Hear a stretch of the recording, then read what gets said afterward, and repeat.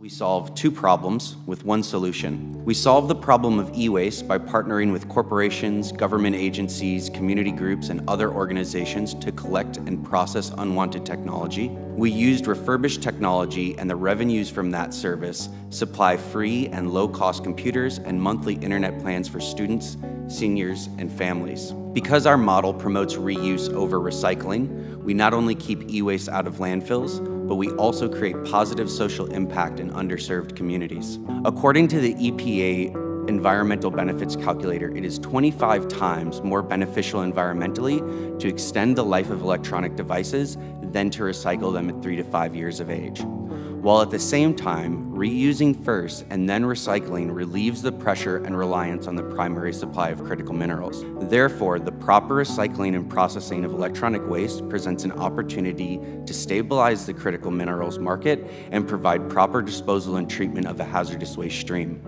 You can help nonprofit refurbishers like Human IT by funding public education to raise awareness on the importance of reducing e-waste. We can also pass policies to create a more circular economy, such as extended producer responsibility and the right to repair.